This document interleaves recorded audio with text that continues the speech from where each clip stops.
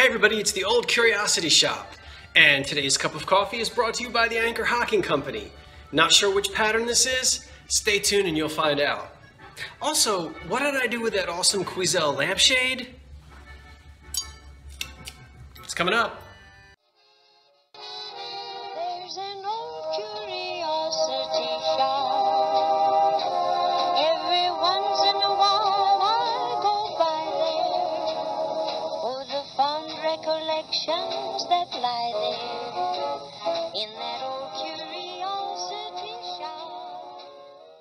Well, let's just cut to the chase. I am going to actually keep a hold of this shade and live with it for a little while. What I'd really like to do is get uh, an authentic lamp. The way you see it displayed right now is not really how it was meant to be displayed. Uh, the bridge lamp that it's on is a very inexpensive, mass-produced bridge lamp from the mid-1920s. It looks okay, but this particular shade would have originally been on a much fancier style lamp. And I'm actually inserting a few photographs here to show you some of the lamps that uh, it might have come on when it was new. Now, the Quezal company started in 1901 and they ended their production in 1924. So, not a very long production. It was expensive glass, it was luxurious glass when it was new, and it did rival the work of Tiffany, Steuben, Loetz, uh, the Durand Glass Company in Vineland. It's art glass. Uh, so, we'll do a close up here on it. It's in the Art Nouveau style. This is called the pulled feather design with uh, drizzle. And the colors on it are absolutely beautiful. The iridescence, you just can't beat it. It is signed, uh, and I think maybe peeking through there, you'll see part of the signature. Uh, if not, I'll pop it out of here and show you the signature when uh, at the end of the video. But that's what it looks like. And it was, as you saw, $2.99. And I almost needed an oxygen mask when I saw it. Because for $2.99, I would have never thought I'd find an authentic Quezal art glass shade uh, in a thrift store. So that was just fantastic. Sometimes this would hang in a cluster and there would be four or five or six shades, but you would also see this particular shade on an individual lamp as pictured.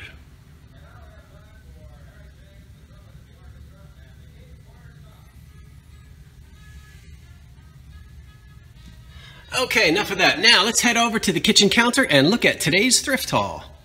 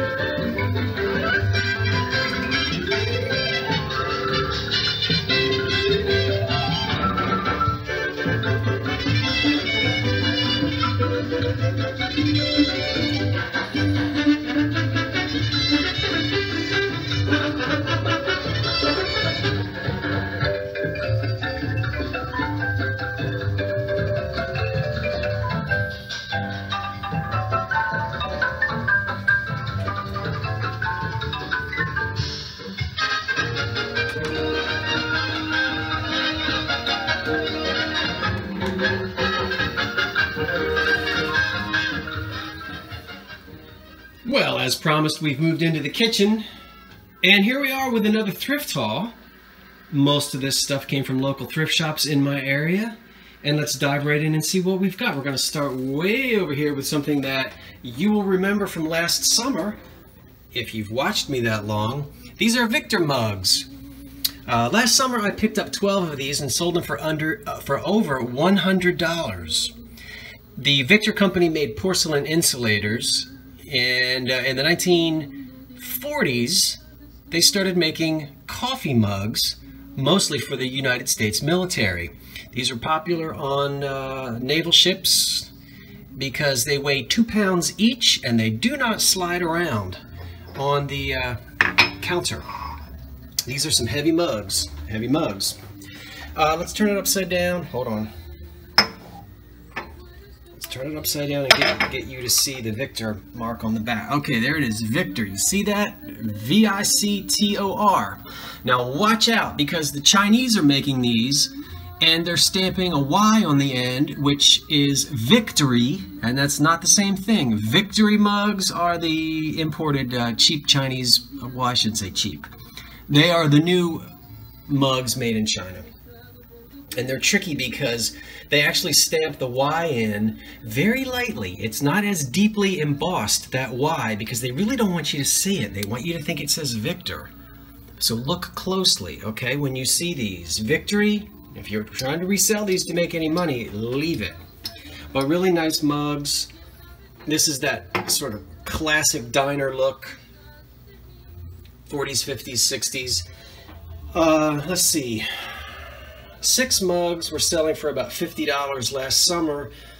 Five mugs, well, see if I can get 30, 35 bucks for them. Made in Japan in the 1930s. That's a luster teapot. It doesn't have a great deal of value, but I couldn't turn it down because these are always chipped. This one is not chipped, so I just simply had to get it. I'll show you the made in Japan.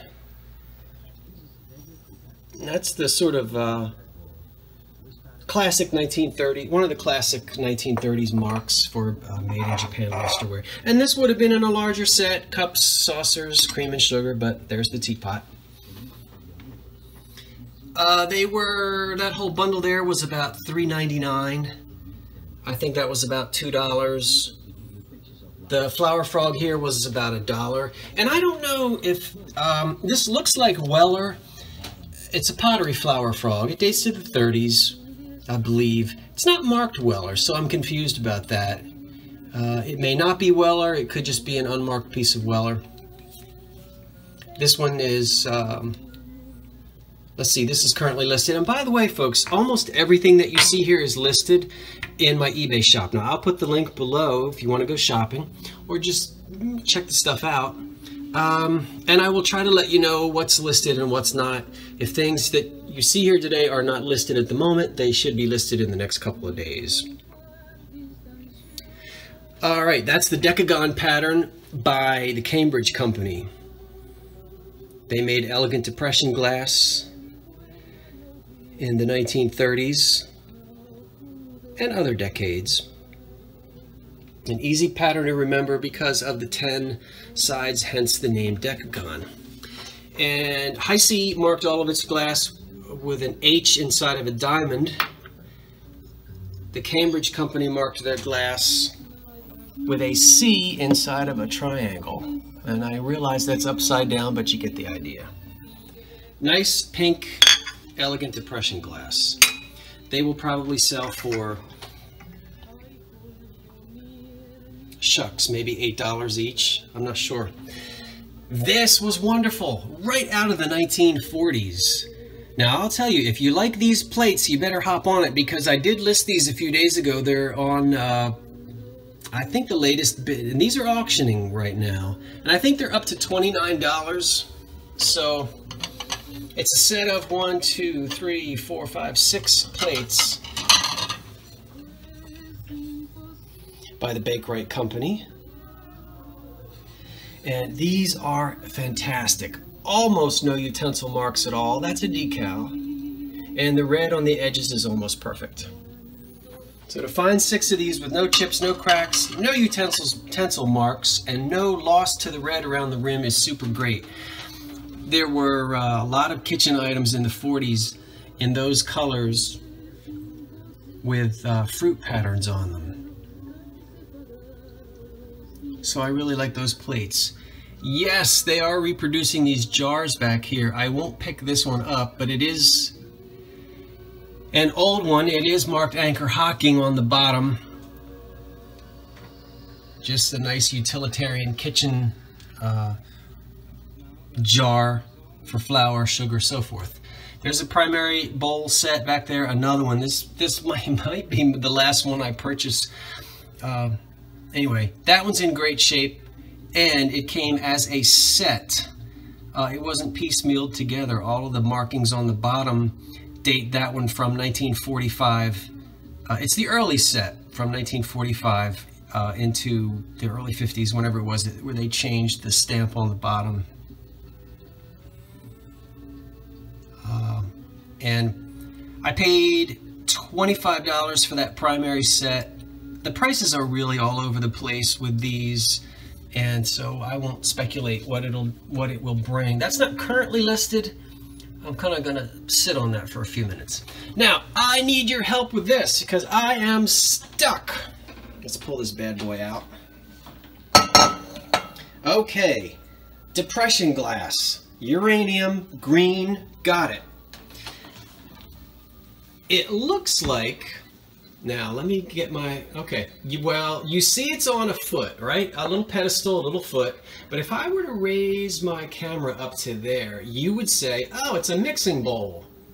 I've seen all the mixing bowls from the 30s. Anchor Hocking, Hazel Atlas, uh, oh fudge, who am I? Okay, Hazel Atlas, McKee, Jeannette, Anchor Hocking, they all made mixing bowls and this has a mixing bowl look to it. It's not a mixing bowl. It's ribbed on the outside and smooth on the inside. It has a little bit of a rolled edge here, but I can't find this anywhere. So I don't mind if you guess, but what I really want to know is can somebody actually document what company made this? I would love to know.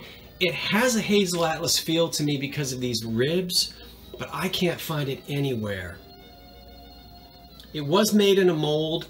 It's got the mold marks here, as you can see, three mold marks that were not polished out. There's another one of the mold marks, and then there's a third over here. And this is a, uh, a bubble inside, not a chip. There's a few straw marks inside, the typical stuff that you see in depression glass. And it's very heavy, very heavy. So I don't think it was a serving bowl because this thing, as I said, it's just extremely heavy. And I, am guessing it was used as a console bowl or a, a bowl, a fruit bowl or whatever. But who made this bowl? I want to know. Okay, so uh, if you can, if you've got some kind of documentation out there or you can tell me who made this bowl, I would be grateful. We interrupt this broadcast to bring you breaking news. We have figured it out. I sat down and went through one of my old books that I dug out. I've been holding onto this book for about 25 years. You can see it's all falling apart.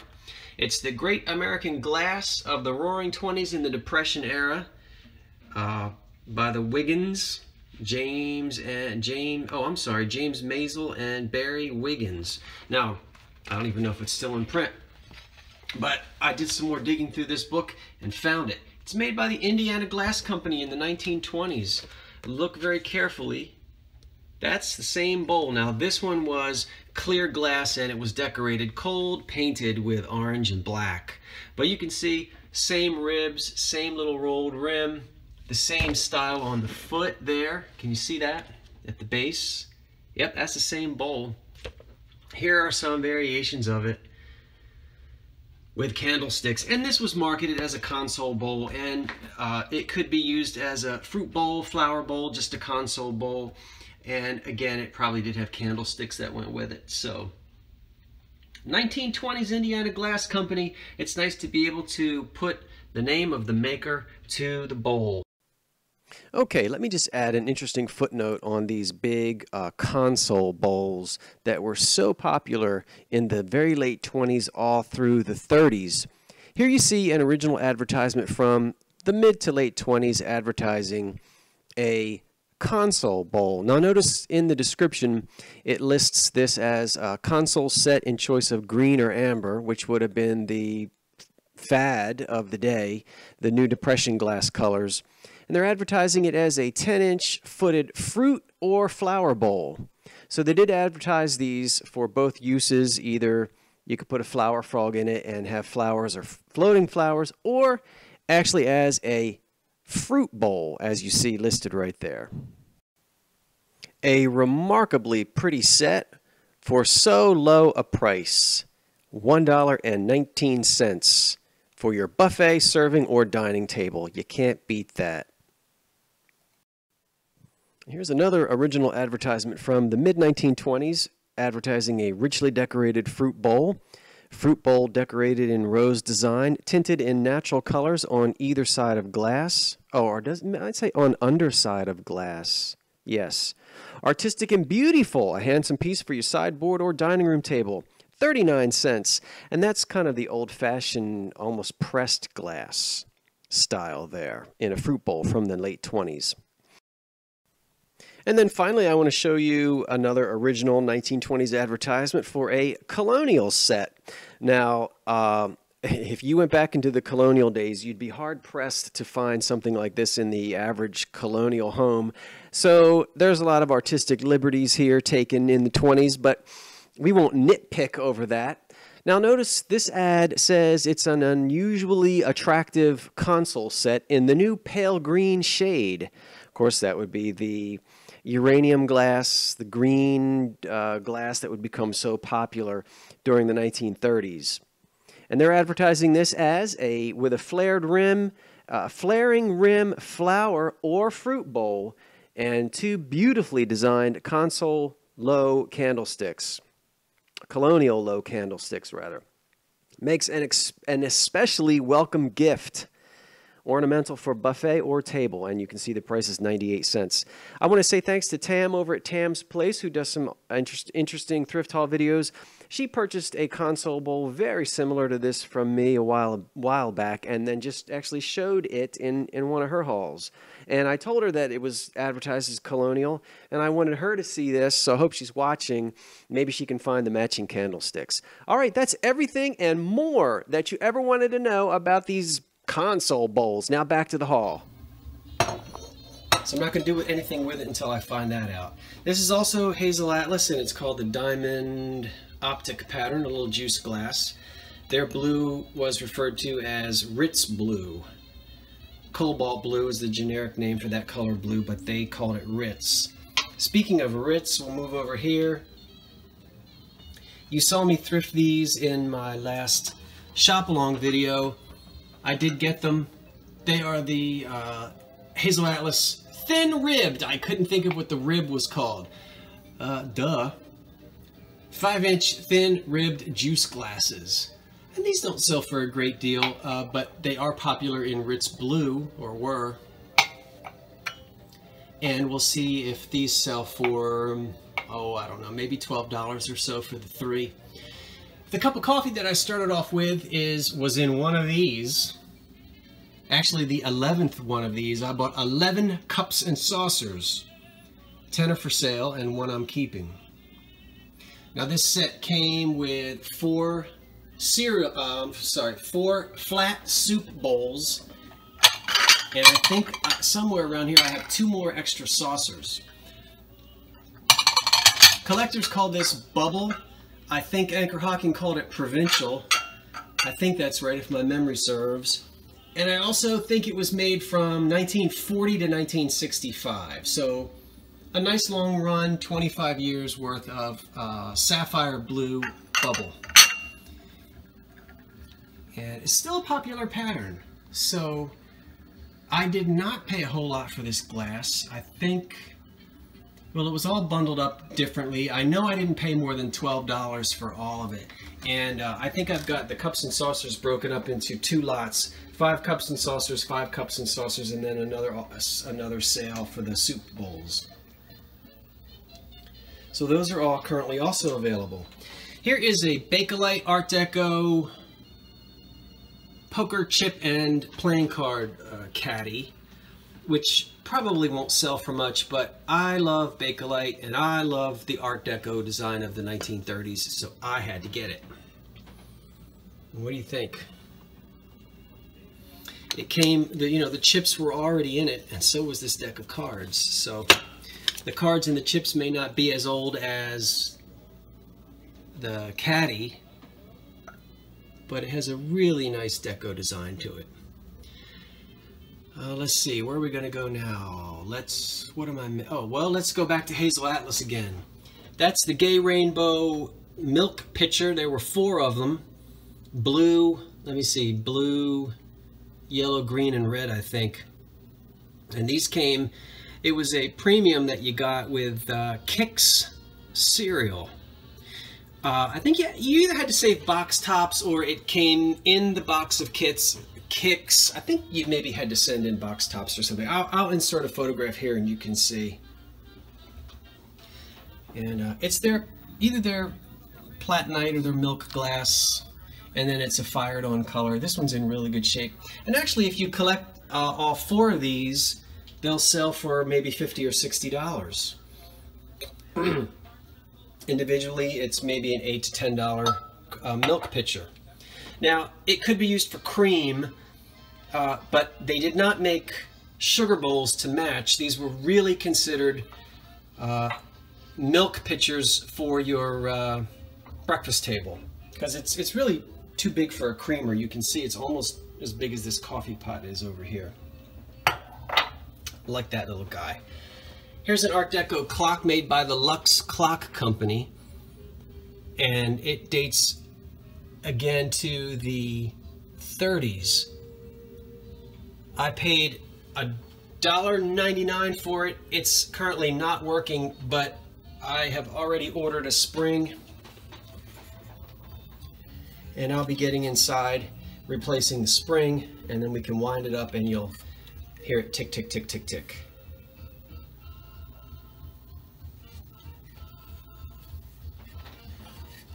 I am so attracted to the 1930s design that I'm keeping this guy. All right, let's turn you around. Another made in Japan piece here is a little dresser tray thing. It would hold uh, powder or you could put rings in it or other kinds of trinkets on a woman's dresser and it says also it's a made in Japan piece from the 30s.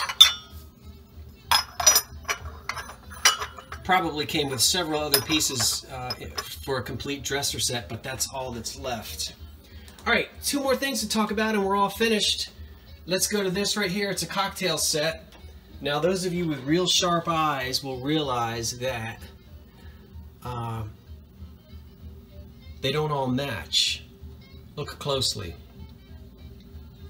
The two red ones, the stems are different and the glass is different. See that? Okay, but I found them all together, so someone just sort of piecemealed together some different designs. And that's okay. That's the cocktail shaker right there with its Bakelite handle. And you can see my reflection in it. I'm glad I'm not filming in the nude. Uh, the glass was made by, there were several of the Depression companies who made the glass. Usually the chrome is uh, Farber Brothers. I don't remember if these are marked on the bottom or not. Obviously made after 1933 when Prohibition was out the window and we all started making cocktails. This is the Art Deco 30s. Glamorous. I think I might have to keep a hold of this and live with it for a while because it is beautiful Art Deco chrome. And finally back here, is a tin Sweet Peach snuff sign. It's not a reproduction, it's the real thing. Get it out of there. Uh, I'm not going to clean it. Well, I wiped it off, but I would not want to over polish it or over clean it. I like sort of the little scuffs and stain marks on it. It shows honest wear, as you can see. This probably hung in a gas station or some small store somewhere. I think peach snuff might still be uh, manufactured. Uh, so I was really excited when I saw this. I paid $15 for it. And, you know, old signs do very well. This, I think, dates to the 30s. I don't know its value. They reproduced a lot of these things in the 80s, but this is the real thing as far as I can tell. Pretty certain about that.